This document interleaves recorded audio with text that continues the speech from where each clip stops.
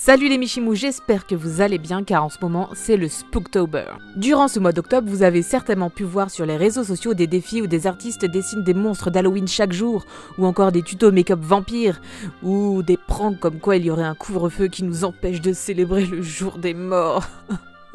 bon. Chez les tabliers on a bien bien le seum car on kiffe Halloween, mais on vous propose un petit truc pour attraper votre soirée. Une soirée d'horreur. Si je vous dis monstre et ciré jaune, vous pensez à Pennywise. Bien tenté, mais faux. Il s'agit de Little Nightmares. Le jeu est sorti en 2017 sur PC, Xbox One, PS4 et Switch. C'est un jeu de plateforme et de réflexion développé par Bandai Namco Entertainment, très connu pour les jeux Pac-Man, Tales of ou encore Taken.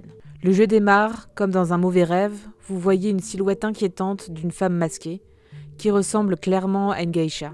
Vous incarnez Six, jeune enfant en ciré jaune, qui se trouvait dans une valise au cœur d'une pièce sombre. Sachez que quasi tout le jeu se déroulera dans ce type d'éclairage. Aucune information ne vous sera donnée, vous ne savez pas ce que vous faites là, ni même quel est le visage de votre personnage, ou même d'où il vient, D'ailleurs, en soi, le nom de Six n'est jamais indiqué dans le jeu. Vous finirez juste vite par comprendre que vous êtes coincé sur un bateau qui s'appelle The Mow, selon le site, qui veut dire la gueule comme tomber dans la gueule du loup, où la plupart des gens veulent vous tuer si ce n'est vous manger. On ne sait absolument rien de cet endroit. Sur le site, on dit juste que ça s'appelle le Mow, ou l'antre en français, et que The Mow arrives every year, always at the same time, but never in the same place. It creeps and crawls and buries its claws deep beneath the glistening water, and there it sits in vast silence, waiting. Soon after, they start to arrive. The guests, the monstrous, sweating, hungry guests, all seems bursting, bodies bulging, eyes dead with boredom. They shuffle up the gangway and into the mouth of the mow and then they are no more. For none of those that enter have ever returned to tell the tale. At least, not yet. Vous êtes minuscules, ils sont géants. Vous n'avez aucune arme, vous avez faim, et eux, ils sont affamés. Vos seuls alliés sont des sortes de petits lutins que le site internet appelle des gnomes, tous les autres personnages ont un aspect monstrueux et pour en réchapper, vous devrez user de vitesse, de stratégie et d'intelligence. D'ailleurs, en parlant du site internet, ce n'est que là que l'on peut trouver quelques explications, comme l'identité des habitants principaux du mot, par exemple la geisha ou encore le concierge, sans trop en dévoiler quand même. Jusque dans les plus petits détails, le jeu incite les joueurs à faire leurs propres recherches. Little Nightmares a donc au final un aspect assez transmédiatique. Ce jeu est à la fois un puzzle game, un jeu d'aventure, de réflexion et évidemment d'horreur. Si les musiques sont angoissantes, sachez que c'est pire lorsqu'il n'y a que les bruitages. Personnellement, j'ai beaucoup accroché à Little Nightmares. Ce que je recherche avant tout dans un jeu, c'est plus la qualité de son histoire et le fait de pouvoir s'identifier au personnage avec lequel on joue. Et je trouve que Little Nightmares a très bien réussi ce défi, malgré le fait qu'il n'y ait pas ou peu de narration. Ce qui est très intéressant, c'est que le jeu vous laisse interpréter l'histoire et vous pouvez vous amuser à récolter les indices tout au long du jeu pour essayer de comprendre ce qui se passe. Le fait de ne rien connaître sur Six, le personnage principal, et de ne pas savoir pourquoi, comment il ou elle est arrivé là, renforce encore plus le mystère et l'envie de finir le jeu pour en apprendre plus. L'ambiance creepy et malsaine est aussi bien présente. Grâce à l'aspect sombre et délabré du bateau, ainsi qu'à l'aspect horrible et terrifiant de ses résidents, vous n'aurez pas le choix que de vous faire discret et de résoudre au plus vite les énigmes si vous voulez réussir à vous échapper de ce cauchemar. La musique est très bien écrite également et vous rajoute encore plus de surfroide et de tension. Le seul petit bémol, c'est que je trouve que le gameplay est trop compliqué. J'ai joué au jeu sur PS4 et j'ai souvent dû recommencer le même passage à cause des manipulations à faire sur la manette. Et comme souvent on est pourchassé et totalement paniqué, on n'a pas vraiment le temps de réfléchir sur quelle touche on appuie. Et on meurt facilement.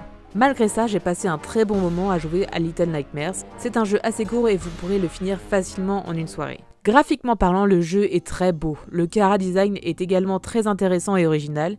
Il y a pas mal de références au Japon au travers des personnages mais également à des tas d'œuvres telles que Le Voyage de Chiro, Le Mythe de Méduse, etc.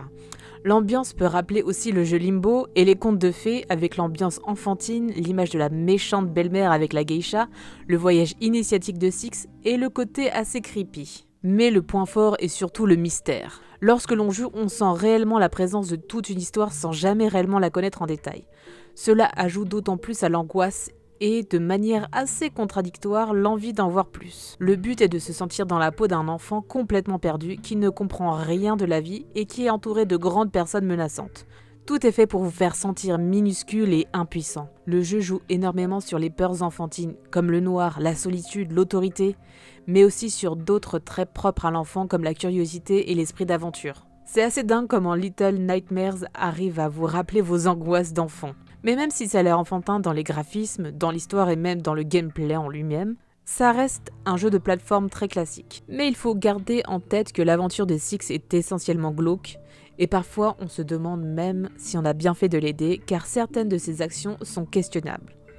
Vous verrez de quoi je parle en y jouant. D'ailleurs, ça me rappelle Viola dans The Witch's House, dans la catégorie des personnages dont on ferait mieux de se méfier. N'est-ce pas? Euh...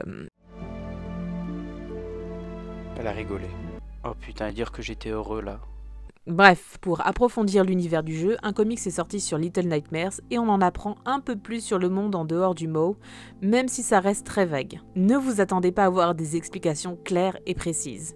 Il y a aussi eu un DLC dans lequel vous incarnez un autre personnage et où vous explorez d'autres parties du bateau. Vous pourrez aussi en apprendre plus sur les gnomes et sur la famille de la geisha.